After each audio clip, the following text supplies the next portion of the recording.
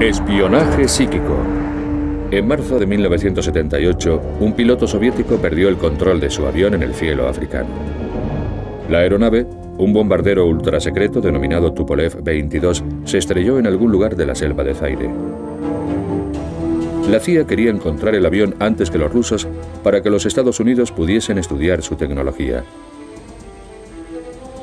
Fracasados los intentos de los satélites espías y los agentes de campo, la agencia recurrió a una unidad gubernamental altamente clasificada de espías videntes por si ellos podían ayudar a localizar el avión desaparecido. La idea de utilizar lo paranormal en el espionaje no fue bien acogida de forma inmediata. La comunidad científica oficial, a nivel casi universal, lo consideraba una tontería. Principalmente porque hay muchos farsantes y charlatanes por ahí. Cuando empezamos a proporcionar resultados, la gente pensó que nos estaban engañando o que los experimentos no eran fiables. Aún así, el gobierno de los Estados Unidos había estado adiestrando y utilizando videntes como espías desde el comienzo de la Guerra Fría. A principios de los años 30, un psicólogo de la Universidad de Duke acuñó el término percepción extrasensorial, PES. El término utilizado actualmente es el de visión remota. La visión remota es la capacidad de captar lo que se haya oculto a los cinco sentidos, que puede encontrarse en la habitación contigua o al otro lado del mundo. Las visiones más certeras se producen cuando la posibilidad de distracción es mínima. Descubrimos que el mejor entorno para llevar a cabo la visión remota era una habitación de un color totalmente homogéneo y sin objetos en su interior. La llamamos la sala gris. Era gris, con aislamiento acústico y las luces de una intensidad específica. No había influencias ambientales que pudiesen afectarle. Con las distracciones reducidas al mínimo, el vidente remoto podía empezar a recibir impresiones. La información llegaba siempre en formatos muy diversos. Podía tratarse de sonidos, sensaciones, gustos, olores, Generalmente, si no conseguía encontrarle mucho sentido a la información, intentaba estructurar sus componentes, combinarlos para que formasen algún tipo de imagen coherente. Dichas imágenes resultaban especialmente útiles a los miembros de la inteligencia estadounidense por sus obvias implicaciones con el espionaje. La CIA se interesó por las posibilidades del tema, porque de ser cierto podías sentarte en una habitación y trasladar tu conciencia a cualquier punto del planeta. Evidentemente la CIA estaría encantada con eso. En abril de 1953, Allen Dulles, director de la CIA durante la presidencia de Dwight D. Eisenhower, creó un programa secreto para crear armas de guerra psicológica tales como el control mental y la hipnosis. El origen del interés de los gobiernos estadounidenses por los fenómenos psíquicos se sitúa aparentemente en los años 50, en un proyecto denominado MK Ultra. En los primeros tiempos del MK Ultra, el espionaje psíquico era esencialmente teórico. Pero en febrero de 1960, un extraño acontecimiento internacional preparó el escenario para la utilización generalizada de espías psíquicos a ambos lados del telón de acero. Esta revista científica francesa reveló los detalles de un experimento secreto estadounidense. El artículo explicaba que en julio de 1959, desde Friendship, Maryland, un vidente había enviado telepáticamente información a otro vidente que se encontraba a bordo del USS Nautilus, un submarino nuclear situado a miles de kilómetros de distancia en el gélido Océano Ártico. En su sede central de Moscú, la KGB pasó rápidamente a la acción. Cuando tuvieron conocimiento de los experimentos del Nautilus, los soviéticos se apresuraron a desarrollar su propia investigación del espionaje psíquico.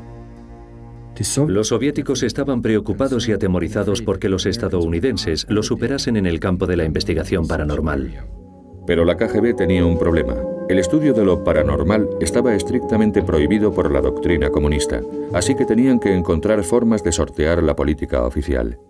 La KGB estaba dispuesta a usar cualquier medio a su alcance para convencer a los dirigentes soviéticos de que la investigación debía continuar, aunque supusiese mentir a dichos dirigentes o despistarlos. En realidad, la mayoría de los historiadores están convencidos de que los experimentos del Nautilus no llegaron a realizarse y que quizá el artículo fue un simple bulo. Ahora creo que aquel incidente solo fue una maniobra de la inteligencia soviética brillantemente elaborada, para engañar a sus dirigentes, para que permitiesen que la KGB continuara su investigación con videntes, utilizando todo el conocimiento a su alcance para aplicar los frutos de dicha investigación al arsenal soviético. La carrera psíquica estaba en marcha. Cuando la CIA se enteró del desarrollo de la investigación psíquica de los soviéticos, pretendieron naturalmente destinar más fondos al armamento paranormal estadounidense. Bueno, por supuesto, durante la Guerra Fría nos preocupábamos por la llamada diferencia en misiles y otras diferencias.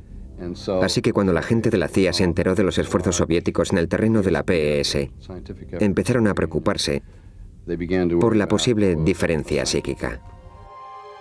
En el apogeo de la Guerra Fría, a finales de los 60, se produjo una serie de acontecimientos extraños en la carrera psíquica entre los Estados Unidos y la Unión Soviética.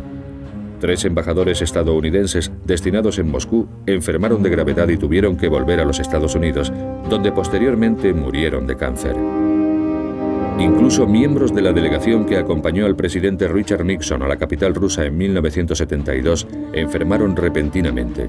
Según ciertos informes de inteligencia, los soviéticos habían estado utilizando armas psíquicas para perjudicar a los estadounidenses.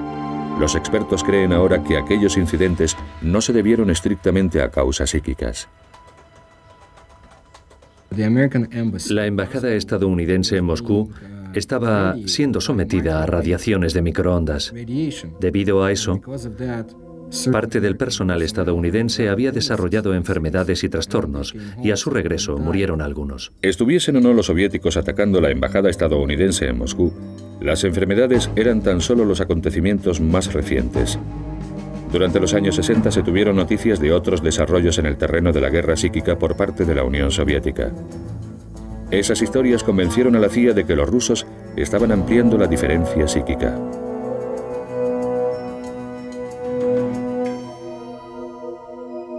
La agencia respondió y no tardó en poner en nómina a un físico californiano que llevaba a cabo una investigación científica sobre los fenómenos paranormales. A continuación veremos cómo este científico ayudó a un espía psíquico a penetrar en una instalación nuclear soviética situada al otro lado del mundo, sin siquiera salir de su laboratorio.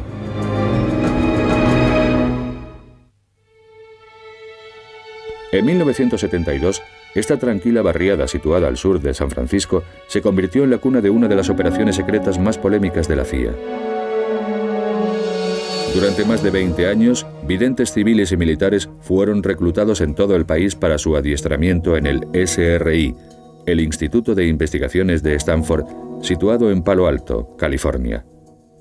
Era la instalación más importante de espionaje psíquico de los Estados Unidos. El SRI fue creado en 1946 y había sido siempre un gabinete estratégico financiado en gran medida por contratos militares. Pero en 1972 diversificó sus actividades dedicándose a temas poco convencionales cuando un científico, el doctor Harold Patoff, elaboró una propuesta para una revolucionaria investigación de la física de los sistemas vivos. Una propuesta que yo había elaborado llegó a manos de un destacado vidente neoyorquino llamado Ingo Swan. Leyó mi propuesta y me escribió una carta en la que decía, si le interesa la física de los sistemas vivos, debería investigar a los videntes. Pese a su escepticismo, el doctor Patoff invitó a Ingo Swan a que visitase las instalaciones del SRI. Así empezó una colaboración que cambió la historia del espionaje psíquico. Ingo Swan es un artista, antiguo empleado de Naciones Unidas, que sirvió en el ejército en Corea. Un individuo con mucho talento. Pero además de todo lo anterior, posee también capacidades extrasensoriales. El SRI desarrolló una serie de pruebas para determinar si los presuntos poderes psíquicos de Swan eran reales. Empezamos por lo más evidente, es decir, esconder objetos en cajas y en sobres y preguntarle al vidente de qué objeto se trataba. En esa época trabajábamos principalmente con Ingo Swan. Un día llegó y me dijo, ¿sabe? Esto es trivial. ¿Quieres saber lo que hay en la caja? Pues ábrala. Yo puedo ver cualquier lugar del planeta. Por supuesto nos pareció totalmente ridículo. Ridículo o no, Swan lo consiguió. Animado por los resultados positivos, el doctor Patoff informó de sus hallazgos iniciales a sus colegas. El informe llegó a estamentos de la CIA. Acabó en el cariñosamente conocido como despacho raro de la CIA. Esa gente lo leyó y pensó, vaya, esto es justo lo que necesitamos.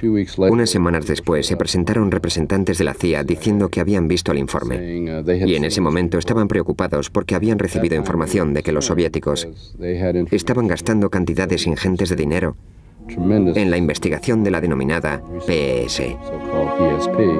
La CIA concedió al Instituto de Investigaciones de Stanford un pequeño contrato, 50.000 dólares, por un experimento de ocho meses que demostrase que las capacidades psíquicas eran aplicables al espionaje en el mundo real. Fue en ese momento cuando se incorporó al SRI uno de sus videntes de más talento. Mientras tanto, otro excelente vidente remoto, llamado Pat Price, vio casualmente una publicidad de nuestro programa. Nos llamó por teléfono y nos comentó que había sido comisario de policía en Burbank, California, que había participado en varios casos en los cuales sus percepciones habían resultado muy útiles. Una prueba de visión remota realizada en 1974 dio resultados sorprendentes. El objetivo telepático tanto de Ingo Swan como de Pat Price era la residencia de fines de semana de un agente de la CIA, una granja de Virginia. Lo que vieron ambos psíquicamente fue algo totalmente inesperado. Price y Swan percibieron unas estructuras en forma de cúpula. Posteriormente, Pat Price profundizó aún más y en una extraordinaria sesión de clarividencia vio personal militar de uniforme y los nombres de varias personas que trabajaban allí.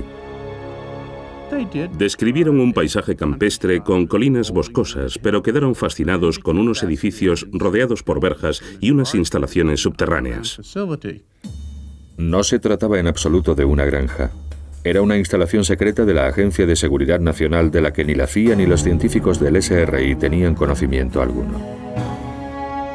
Entraron mediante visión remota en esa instalación y Pat Price consiguió captar cosas muy interesantes.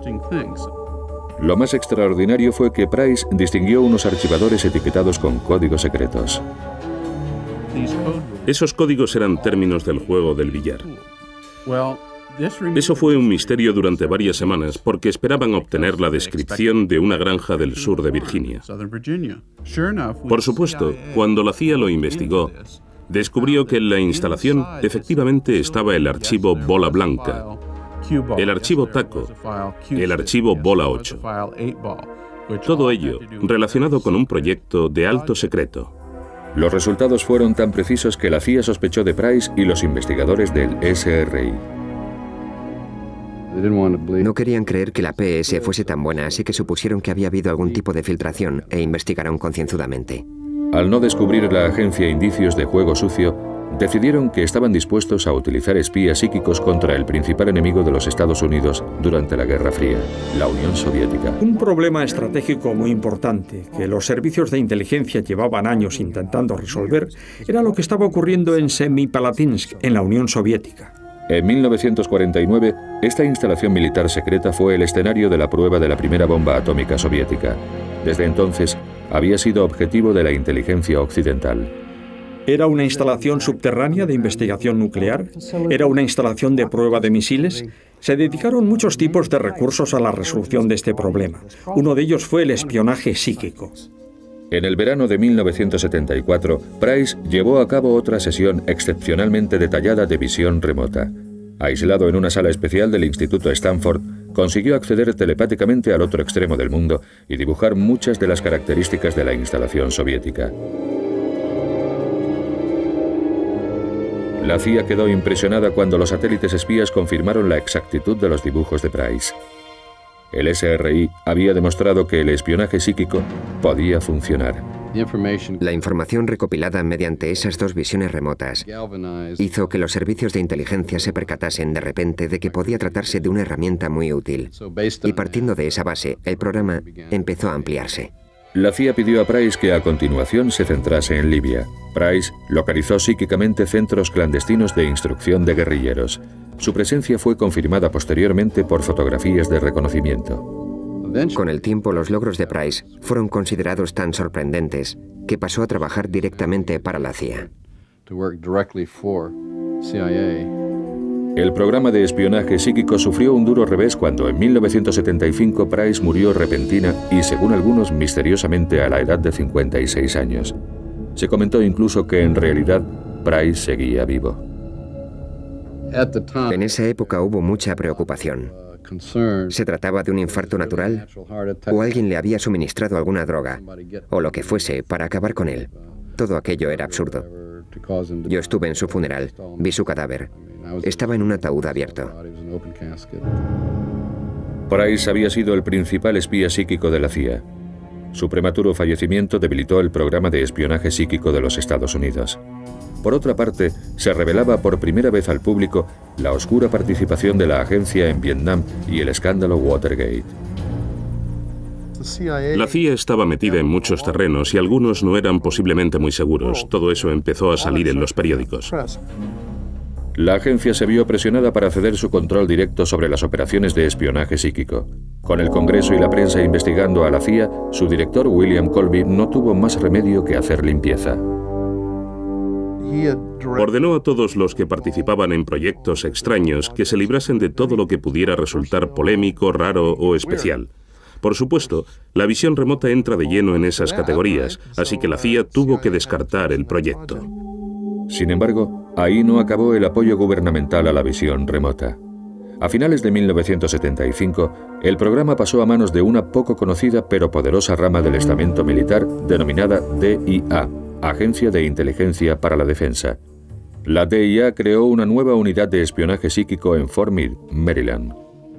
Durante los 20 años siguientes, la DIA utilizó varios nombres en clave incluyendo Grill Flame, Sam Strick y Scanate. Pero actualmente Stargate es el principal nombre asociado a las aventuras estadounidenses en el terreno del espionaje psíquico. La mayor parte de los cientos de misiones de espionaje de Stargate permanecen clasificadas. A continuación, el más sagaz de los espías psíquicos nos revela varias operaciones secretas, incluyendo su papel especial en la localización de un general de la OTAN secuestrado.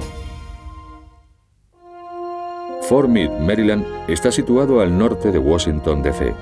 Fue en esta base militar, dentro de este modesto bungalow, donde la Agencia de Inteligencia para la Defensa adiestraba secretamente a sus videntes para que espiasen para los Estados Unidos. Stargate era una unidad a disposición permanente de todas las agencias gubernamentales que requerían sus servicios psíquicos. Participó en todos los conflictos importantes de los Estados Unidos, desde unos años antes de la crisis de los rehenes de Irán de la década de los 70 hasta después de la Guerra del Golfo en los 90. Los espías psíquicos jugaron también un papel estratégico vital al contribuir a determinar lo vulnerable que era Estados Unidos al espionaje psíquico de otras naciones. Dentro de los servicios de inteligencia del ejército, estábamos especialmente interesados en la evaluación de amenazas. Según el tipo de información que lográsemos obtener, cabía suponer que los soviéticos, mediante las mismas prácticas, podrían obtener la misma información de nosotros. Se estableció un perfil de capacidades psíquicas potenciales y reclutaron hombres y mujeres de todos los departamentos militares.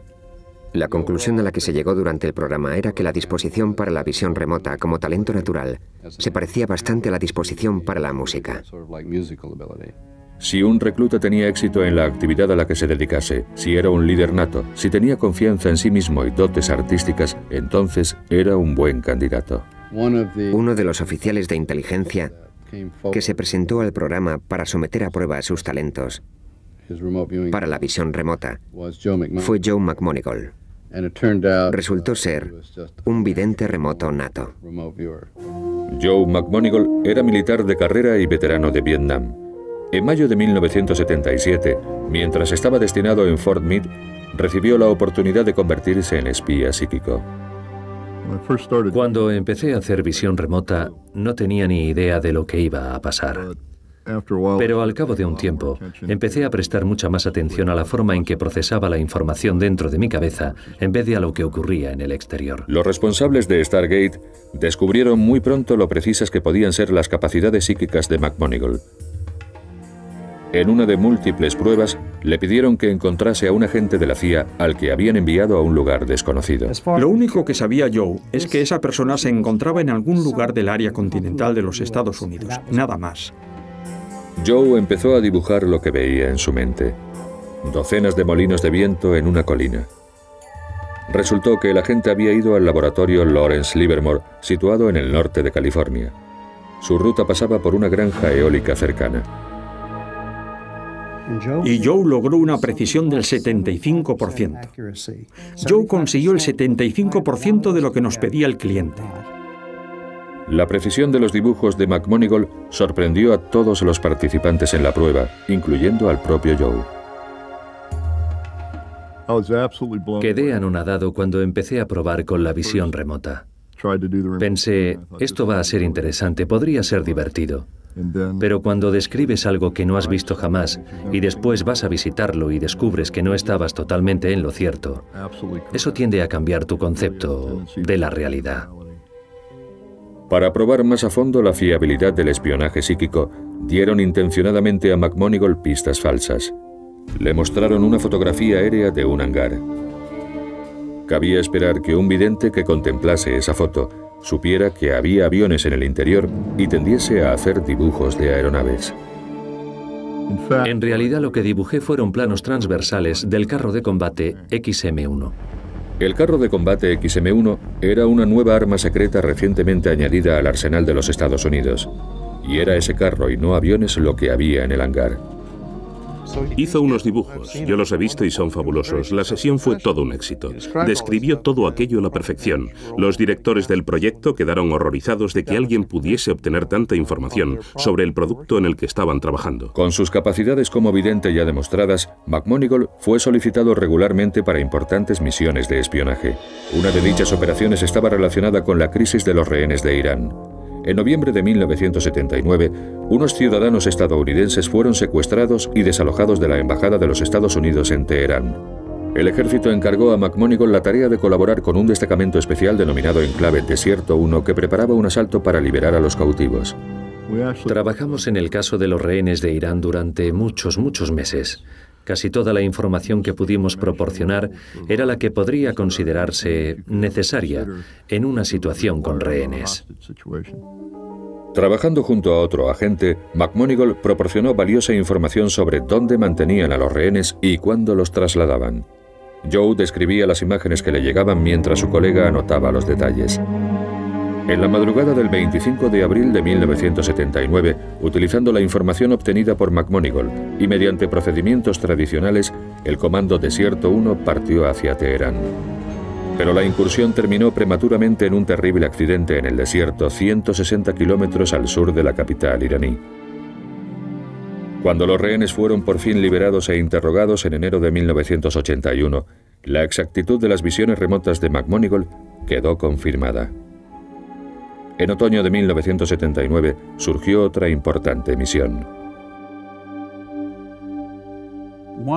Uno de los problemas más interesantes que tenían los servicios de inteligencia fue el del astillero 402, el astillero de Severodvinsk, en Siberia. A los servicios de inteligencia estadounidenses llegaron rumores de que los soviéticos estaban construyendo un arma secreta tan decisiva que podría alterar el equilibrio de poder, pero no podían confirmarlo. Mediante los recursos de vigilancia convencionales, se podía detectar el envío de suministros, la actividad de chimeneas industriales, las entradas y salidas de trenes en el edificio, pero no se sabía lo que estaban construyendo los soviéticos. Podía ser un submarino, un portaaviones, un acorazado, nadie lo sabía.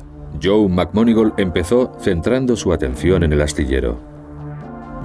Localizó algo en un clima frío, con grandes edificios en lo que parecía una zona industrial. El coordinador dijo, eso es correcto. Entonces sacó de un sobre grande una fotografía satélite del astillero 402 y dijo, no interesa este edificio. Y señaló específicamente un gran edificio situado a unos 100 metros de la costa helada. McMonigal dirigió entonces sus miradas psíquicas al propio edificio. Sesión tras sesión fue describiendo fogonazos luminosos y docenas de hombres trabajando en una enorme estructura. La estructura resultó ser un submarino distinto a todos los existentes hasta entonces. Probablemente se reunió más información sobre ese submarino en concreto que sobre cualquier otro submarino portador de misiles balísticos en la historia de la humanidad. Lo que McMonigal vio telepáticamente era el tipo de submarino más grande y novedoso del mundo, la clase Tifón. Era capaz de lanzar misiles cruceros, algo que se consideraba imposible en esa época. Conseguimos calcular el número de tubos lanzamisiles que llevaba el submarino y descubrimos una característica muy especial, el hecho de que los tubos estaban inclinados. Eso significaba que el submarino no tenía que detenerse para lanzar sus misiles, podía hacerlo en marcha. Esa era una nueva amenaza estratégica que nadie había detectado. Cuando por fin votaron el submarino Tifón en la primavera de 1980, McMonigal predijo la fecha con solo tres días de error. Al año siguiente, la capacidad de McMonigal se vio sometida a una prueba definitiva. El 17 de diciembre de 1981, el general James Dozier, oficial de más alto rango de la OTAN en Italia, fue secuestrado por un grupo terrorista. Diez días después, repartieron una fotografía de Dozier a la prensa internacional. Cuando ni las fuerzas de la OTAN ni el Departamento de Defensa estadounidense conseguían localizar el escondite de los terroristas, recurrieron a los espías psíquicos. La misión de Joe McMonigal consistía en ayudar a localizar al general secuestrado. Trabajando desde Fort Meade, describió y dibujó detalles sorprendentemente precisos.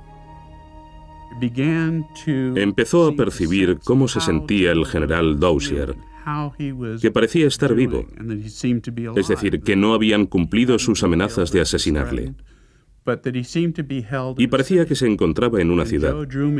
Joe me dibujó una magnífica imagen panorámica de una ciudad costera con edificios y una cadena de montañas detrás. Presintió que el nombre de la ciudad era Padova o Padua y lo escribió en el papel. De todas las de Europa, McMonigal había localizado la ciudad donde mantenían cautivo al general Dozier. Los secuestradores del general Dozier disponían de una ventaja de siete u ocho horas, así que podían haberle escondido en casi cualquier país del bloque oriental o del bloque occidental. Nadie tenía idea de dónde podía encontrarse y yo les proporcioné un mapa muy detallado del sitio, que resultó casi idéntico al que utilizaron para la búsqueda. 42 días después de su secuestro, Dozier fue liberado por comandos antiterroristas. A posteriori se comprobó que las descripciones proporcionadas por McMonigal habían sido totalmente certeras. Pero el trabajo de McMonigal había sido ampliamente ignorado. Las autoridades eran reacias a arriesgarse con una fuente psíquica de información en una misión seguida tan de cerca por la prensa internacional. Nadie quería que le pillasen cerca de un vidente. Podía ser el fin de su carrera. Todos pretendían utilizar la información que yo proporcionaba, pero nadie quería admitirlo. A continuación, un extraordinario caso de espionaje psíquico. Un avión secreto enemigo fue localizado cuando lo único que se sabía con certeza era que se había estrellado en algún lugar del continente africano.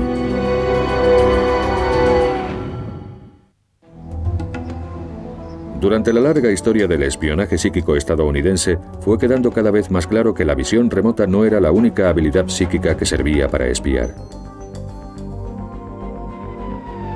Personalmente prefiero la visión remota porque la información que proporciona es mucho más estructurada y utilizable. Pero hay otras técnicas y otros métodos igualmente valiosos. Probablemente el segundo en utilización sea la radiestesia. La radiestesia es el antiguo arte de utilizar una vara para localizar agua. Utilizada por un vidente, la vara era sujetada por ambos extremos y cuando se encontraba agua temblaba y empezaba a apuntar hacia el suelo. En el terreno del espionaje, los psíquicos utilizaban otro tipo de herramienta para localizar objetivos en todo el mundo. El vidente sostiene el cordel sobre el mapa y se concentra en el objeto determinado. Una vez localizado, la herramienta adivinatoria oscila hacia las coordenadas del objetivo. Esta técnica se denomina radiestesia en mapa. Se sabe que durante la guerra de Vietnam, los marines utilizaron la radiestesia para localizar túneles norvietnamitas también camuflados, que no había otra forma de encontrarlos. Parece que aquello tuvo éxito y fue posiblemente uno de los primeros intentos de utilizar un fenómeno paranormal con fines militares. La radiestesia en mapa se enfrentó a un gran reto desde el principio de la historia de su programa de desarrollo. En marzo de 1978, en el cielo de las selvas de Zaire, un piloto ruso perdió el control de su bombardero de alto secreto, un Tupolev 22. El piloto se lanzó en paracaídas y el avión se estrelló. Como ni los satélites espías ni los agentes de campo conseguían localizar los restos del aparato, se recurrió a los espías psíquicos. En esta misión participaron dos videntes independientemente, uno en el Instituto de Investigaciones de Stanford, en California, a 4.000 kilómetros de distancia, y el otro en la base aérea de Wright-Patterson, situada al nordeste de Dayton, Ohio. A ambos videntes remotos les mostraron una fotografía del tipo de aeronave que buscaban. Lo único que sabía la CIA era que el avión se había estrellado en algún lugar de África. Resultó que combinando visión remota y radiestesia en mapa nos acercamos mucho a donde se encontraba el objetivo y enviamos allí gente a buscar el avión. Ambos psíquicos hicieron dibujos detallados de un paisaje selvático. Combinando sus aportaciones, consiguieron dirigir a los agentes de campo. Enviaron a un equipo y conforme se iban acercando se encontraron con nativos que llevaban piezas del avión. Siguieron el rastro y encontraron el aparato. Al encontrar el avión antes que los soviéticos, la CIA consiguió sus secretos tecnológicos. Otra pieza cobrada en el ajedrez de la Guerra Fría. Aunque esta operación se llevó a cabo al principio del programa Stargate, se la mantuvo clasificada hasta 20 años después cuando el expresidente Jimmy Carter hizo pública la historia en diciembre de 1995. El accidente del avión en Zaire y la utilización de visión remota para localizarlo es uno de los múltiples experimentos que pensábamos que estarían clasificados indefinidamente. Pero posteriormente, Jimmy Carter, después de su mandato, mencionó que buscaban un avión caído en África. Y mediante visión remota consiguieron localizar el lugar del impacto. Hay otras misiones de espionaje psíquico que no han sido dadas a conocer oficialmente por parte del gobierno, aunque algunos de los protagonistas hayan revelado su participación en las mismas. En una de ellas, un psíquico del ejército utilizó precognición, la capacidad paranormal que permite prever acontecimientos antes de que sucedan. Posiblemente la sesión más espectacular en la que participé fue aquella en la que se previó el ataque de los iraquíes sobre el USS Stark, un destructor estadounidense que navegaba tranquilamente por el Golfo Pérsico. En mayo de 1987, el capitán Paul Smith era uno de los videntes remotos del equipo Stargate. Aislado en una sala especial de Fort Meade, Smith previó unos acontecimientos que ocurrirían dos días después. Empecé a describir una estructura metálica. Después me di cuenta de que la estructura estaba en el agua y en movimiento. Intuí que se trataba de un destructor estadounidense. De repente localicé también una aeronave. Volaba a considerable distancia de la embarcación. En un momento dado, el avión lanzaba dos objetos largos y finos, con aletas gruesas. Emitían un ruido estruendoso y parecían volar sin destino hasta que los objetos coincidieron con el barco. Había fuego, humo y gente gritando. Horas después del suceso quedó confirmada la premonición del capitán Smith. Confundiéndolo presuntamente con un avión enemigo, un caza iraquí lanzó dos misiles Exocet contra el USS Stark. Ocurrió cuatro años antes de la Guerra del Golfo. Los iraquíes se disculparon públicamente ante los Estados Unidos pero murieron 37 estadounidenses. La precisión fue asombrosa. No describí nada que no sucediese y tampoco omití mucho de lo que sucedió. Probablemente no haya vivido nunca una sesión tan clara antes y después. Psíquicos de Stargate como Paul Smith participaron activamente en muchas de las misiones norteamericanas de espionaje más importantes durante otra década. Pero los Estados Unidos no era el único país que invertía millones en espionaje psíquico. Los soviéticos tenían sus propios programas psíquicos plenamente desarrollados y realizaban pruebas paranormales de control mental. La CIA temía que esos experimentos fuesen una amenaza potencial para la seguridad nacional con la información que habían conseguido sobre el bloque soviético. Descubrieron que investigadores de la Unión Soviética, investigadores de alto nivel, doctores de los mejores institutos, trabajaban intensamente en la denominada área sí. Y eso tenía muy preocupada a la CIA. La preocupación de la agencia no era infundada. A continuación, Secretos desclasificados en 1995 revelan que la KGB creaba agentes zombies para utilizarlos como saboteadores y asesinos.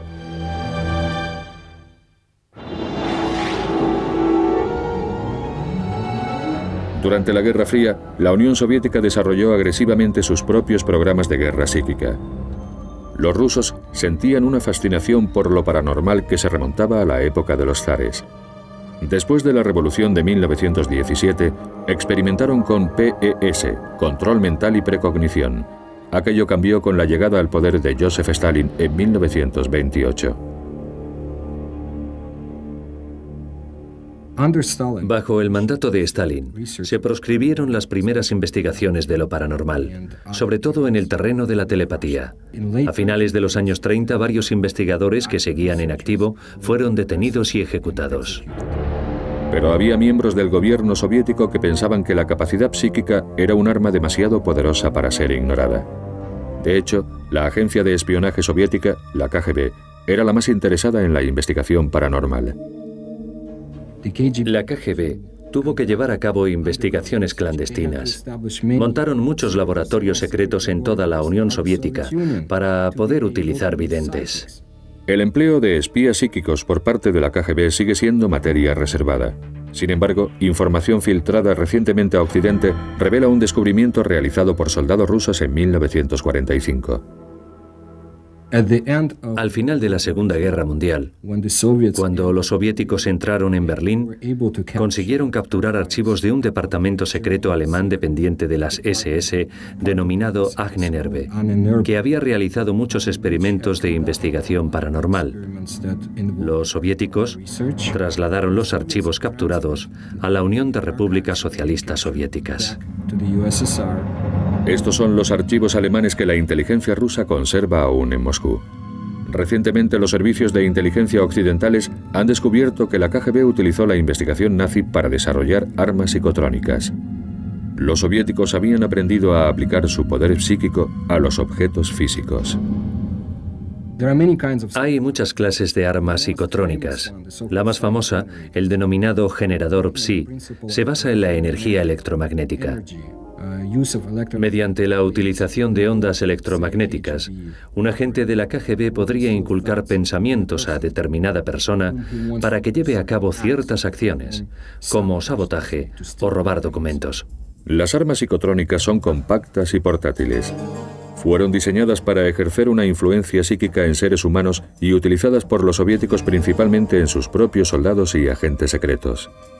Tras la muerte de Stalin en 1954, la KGB se volvió aún más agresiva en su investigación de lo paranormal. Otra forma de poder psíquico que pretendían dominar era la psicoquinesis. El gobierno federal nos preguntó, ¿podemos trasladar objetos centrando nuestra atención? Y básicamente no podíamos en la época de Stargate. Quizá la Unión Soviética tuviera un espectro más amplio que nosotros. En otras palabras, utilizaban visión remota, pero pusieron también mucho más ahínco en su investigación de la psicoquinesis. La psicoquinesis es la capacidad de mover objetos sin tocarlos físicamente. Es el arma psíquica definitiva. Si los objetos pueden controlarse a distancia, también puede destruirse maquinaria, cortar la electricidad y reprogramar cabezas nucleares. En 1972 apareció por primera vez esta película soviética en los Estados Unidos. Revelaba el extraordinario talento de una famosa psíquica rusa, Nina Kulagina. La KGB, de haber podido canalizar el poder, habría conseguido manipular instalaciones y agentes mediante influencia directa en la mente del enemigo habría conseguido penetrar en los sitios más secretos de los Estados Unidos, quizá hasta en la propia Casa Blanca. Habría conseguido predecir lo que los estadounidenses, los británicos u otros enemigos pensaban hacerle a la Unión Soviética. A casi 3.200 kilómetros de Moscú, en el corazón de Siberia, construyeron una instalación secreta de investigación denominada Ciudad de la Ciencia. Gran parte de las investigaciones revolucionarias de la Unión Soviética se llevaron a cabo en esa ciudad de Siberia. En un experimento embarcaron crías de conejo en un submarino. La madre quedó confinada en un laboratorio de la Ciudad de la Ciencia. En un momento determinado, mataron una a una a las crías que iban a bordo del submarino mientras controlaban la respiración y el ritmo cardíaco de la madre. Los científicos soviéticos creyeron haber demostrado que existe un vínculo psíquico entre padres e hijos en ciertos mamíferos. En esta singular película jamás vista anteriormente fuera de la Unión Soviética, se revelan otras técnicas paranormales. En uno de los experimentos se intentaba incluso alterar las constantes vitales de seres humanos. Comparando la forma en que los soviéticos utilizaban lo paranormal y cómo utilizábamos nosotros la visión remota, podría decirse que ellos sentían menos aprecio por el factor humano. Nosotros, por otra parte, teníamos ciertas reglas y normas que debíamos cumplir. Conforme se filtraba información soviética a mediados de los 90, los científicos occidentales constataron lo diferente que eran las versiones soviética y estadounidense de la guerra psíquica. En nuestro trabajo no llegamos nunca a investigar, por ejemplo, si una persona podía influir a distancia en el pensamiento o en el carácter de otra. Hablamos con algunos psíquicos soviéticos que nos dijeron que en ocasiones, si un presidente estadounidense daba un discurso, se concentraban en interferir sus procesos de pensamiento y cosas parecidas. Pero en nuestro programa nunca hicimos nada parecido a lo que podría denominarse control mental. Informando de los últimos archivos desclasificados por la KGB en 1995, el Moscow Times publicó noticias sorprendentes. Los soviéticos habían utilizado control mental con sus propios espías para convertirlos en una especie de robots zombies.